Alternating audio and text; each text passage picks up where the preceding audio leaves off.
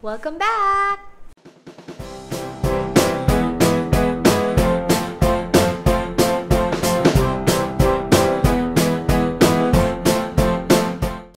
For today's video, naisipan ko na gumawa ng vlog kung saan ipapakita ko lahat ng recommendations ko for other pet parents like me. Kung saan ako bumibili ng pagkain nila, uh, kind of food bowl na ginagamit nila, treats, mga laruan nila, yung mga ganun, mga damit nila. Para may idea rin kayo kung saan nyo pwede makuha yung mga gamit na yun. Since um, every time I post yung mga gamit ng mga babies ko, uh, a lot of you nagtatanong kung saan ko nabibili. So, yun. yun, let me know. You can tag me if ever mag-decide kayo na bumili rin kayo sa same stores na binibilhan ko. Towards the end of this video, um, i-explain ko yung giveaway um, in collaboration with Paleo Pet. So, finish nyo yung video para makasali kayo. I will be starting with kung ano yung pinakamalapit sa akin, which is this one, yung doghouse ni Clay.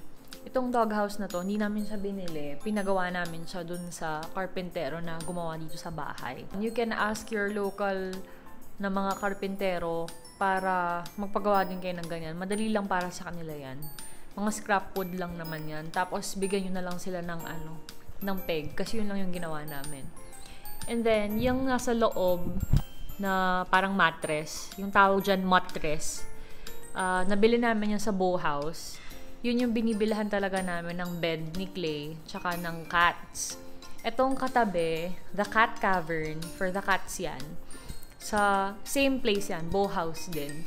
Noong una, nagsisisi kami kung bakit namin siya binili kasi walang gumagamit. Pero lately, yun, si Lilo, dyan na lagi yung tambayan niya. Before ako lumapit, mag-start ng video, nandyan siya. Eh kaso, nagising. Nagising ko siya. And the next one, yung katabi, is the cat condo. Yung cat condo na yan, pinagawa rin namin yan sa friend namin. Kay Don the Builder. Pwede siya i-follow sa Instagram kung may gusto kayong pagawin sa kanya. Anything wood, kaya niya yun. See? Ayan, yun yung sinasabi ko.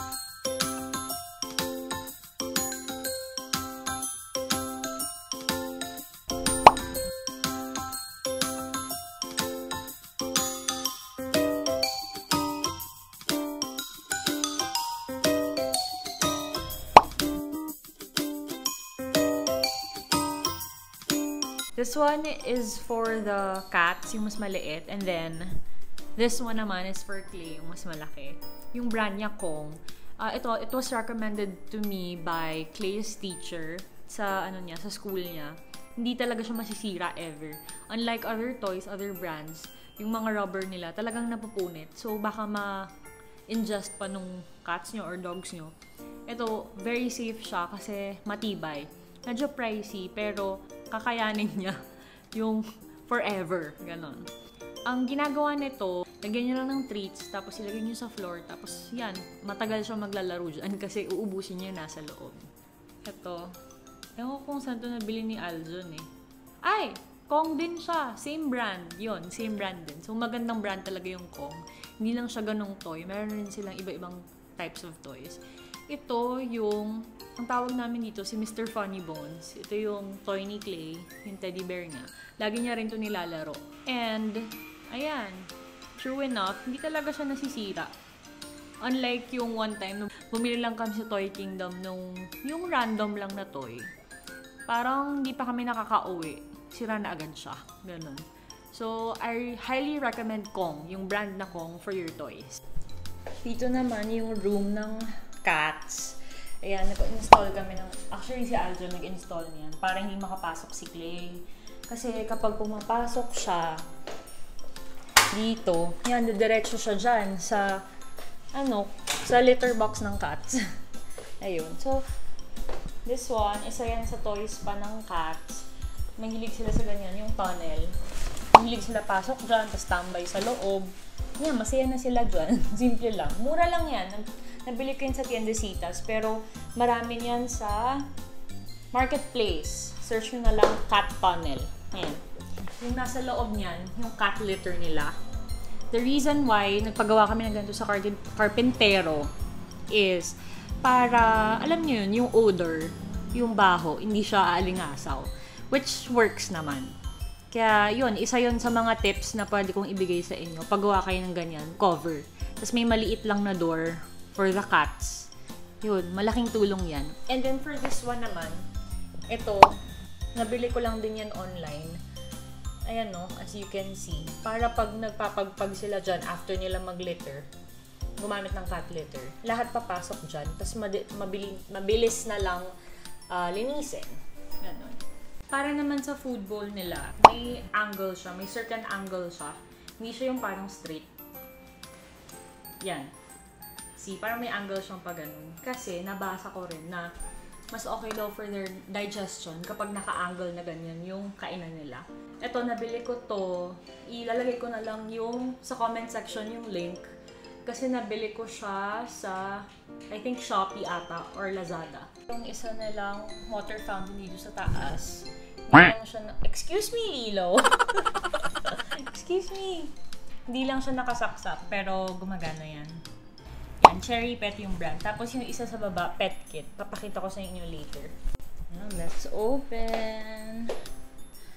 Ito ang favorite ko dahil... ito yung closet nila. Diyan namin tinatago yung mga damit nila. So, from here until there, yun yung sa cats. And then, from here till here, yan yung kay Clay. Makikita niyo mas marami yung kay Clay kasi maarte siya. Hindi, kasi mas lumalabas naman kasi talaga si Clay kaysa sa cats. Yung cats, pinapadress up lang namin kapag may birthdays, may occasions. Pero si Clay, lagi kasi siya nagdadamit. Ayan, lahat ng yan, nabili ko lang yung Shopee, Lazada. From three different stores lang na trusted ko talaga isa-share ko sa inyo kung ano yung mga stores na yon And also, these hangers din, yan. Nasabi ko na rin sa dating vlog ko, pero ulitin ko na lang para alam niyo kung saan makakabili. Sobrang mura lang nitong mga dresses na to. As in, meron dyan mga 100 plus lang, 200, 300. Walang aabot ng 400, pero magaganda yung quality niya. Eto, eto naman yung bed ni Clay dito sa kwarto ng daddy niya. Mas malaki to kaysa dun sa baba. Bowhouse din to, yung brand na to. Snorebox yung tawag sa variation na to. Tapos, ito naman yung blanket ni Clay from Swaddy's PH, of course. Reversible blanket siya. Dalawa yung ganito niya eh, so palitan. Yan, diba? Very spoiled. Ito yung stroller ni Clay. Dinadala namin siya pag umaalis kami para less hassle. Ayan. Yung brand niya Ibiyaya. Nakita ko yan kay Princess Panda. Sa dog ni Play! Gagalit siya. Quiet, darling. Quiet. As I was saying, ayun, nakita ko yung brand na to kay Princess Panda dun sa dog ni Heart. Hindi siya ganun kamahal. Gift namin siya nung nag-birthday si Clay, second birthday niya. And then, sa loob niya, nilagyan namin ng Swaddy's PH din na water absorbent bed mat. Ayun. Para if accidentally nagwiwi siya, ayun, madali lang ang linisin. Next naman, yung sinasabi ko sa inyong water fountain nila dito sa baba. Nakakahiya, sobrang dumi ng bahay.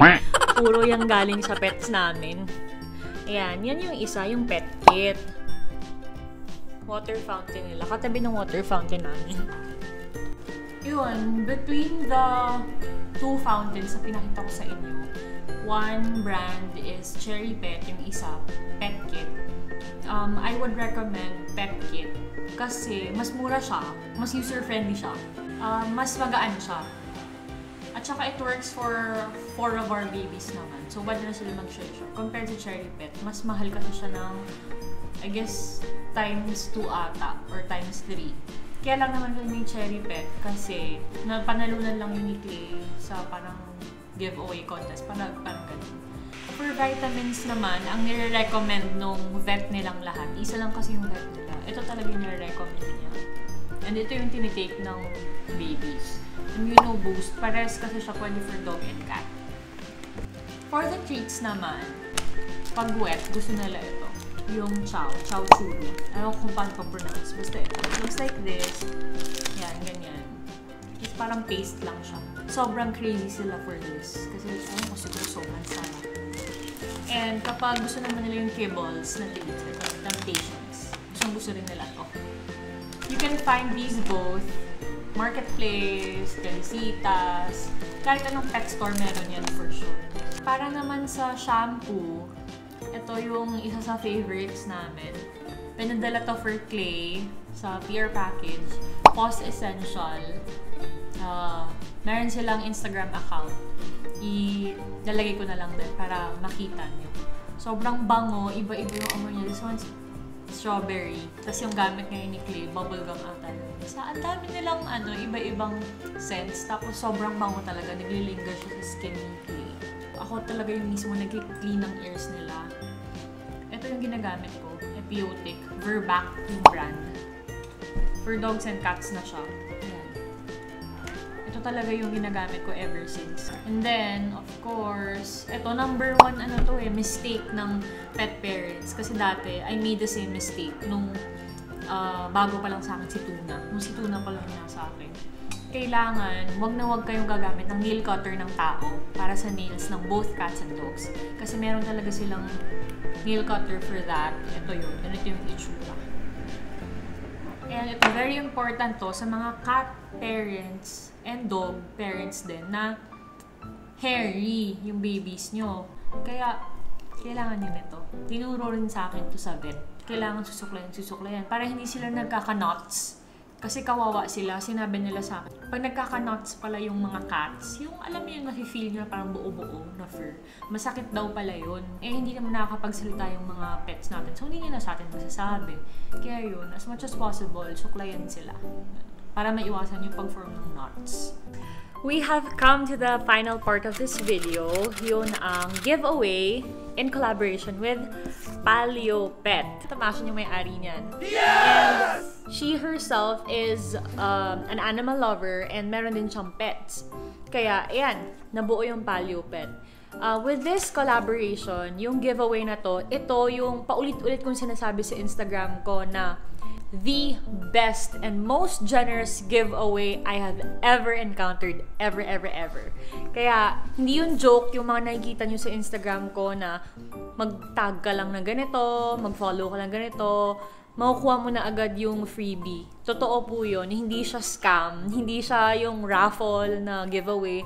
Talagang lahat na mag-participate makakakuha. Little details about Paleo Pet um, ito, wala silang artificial whatever na additives and preservatives na nilalagay. Talagang real meat. Meron silang dalawang uh, variations, uh, chicken and beef. Parehas yan good for your pets. Pero para sa akin, uh, chicken yung in-order ko lahat. Kasi yun talaga yung gusto nilang lahat. 100% human grade siya. It means pwede nyo rin siyang kainin. Pwede kayong mag-share ng pets nyo. And then, it's easy to serve, of course, kasi meron siyang easy notch siya sa side. Meron na siyang ganun. And, ito yung number one na hinahanap ko talaga sa mga pet food na pinapakain ko. Grain-free. Diyan na si Baba. The first time I let my pets try this brand, talagang nagustuhan nila. Ubus talaga yung plate, lalo na si Clay. And hindi lang ito yung meron sila. They, di ba, I told you they have the chicken and the beef variant. Aside from that, meron din silang treats. Liver yung treats nila. And out of four of my babies, three gusto nila. Three out of four. Si Lilo lang yung may ayaw kasi maarte talaga siya. Kung titignan nyo yung account nila, makikita nyo yung price list doon. Hindi siya, hindi siya mahal. It's very competitive compared to yung mga available na sa market ng mga big brands. Uh, I would really consider changing their pet food to Paleo kasi mura siya and very healthy and yun na nga, yung sinasabi ko, grain-free siya. Yun talaga yung number one na titignan mo para sa pets mo. Yung mechanics for this giveaway is very easy. The only thing you need to do is number one, to follow PaleoPetPH and Keisha Chua, my account, both of our accounts sa Instagram. That's number one. And then number two, when you're done, mag-comment lang kayo sa comment section using the hashtag PaleoPetX, K-A-Y-E, and then comment down yung IG username ninyo. And that's it. Yun na yun. ba? Diba? Sobrang dali lang. And hindi to raffle. Again, I'm letting you know hindi siya raffle giveaway. Talagang instant giveaway siya. Once you do those two steps, meron na kayong freebie. Here, two boxes siya. As you can see, syempre isa lang makukuha nyo. This small box is for uh, pet parents na merong small, ano lang, small pets. Like cats, ganun, or small dogs. And then this one is for the pet parents na merong mga big dogs or cats. Maraming cats, ganun. Ayan. Kaya I highly suggest that you tell your friends, your family, and your neighbors, or kahit sino pa man, i-share nyo na sa kanila yung good news about this giveaway para lahat kayo magkaroon. Start commenting, start following, and i-share nyo na to lahat. Yun lang naman. Thank you so much for watching. Bye!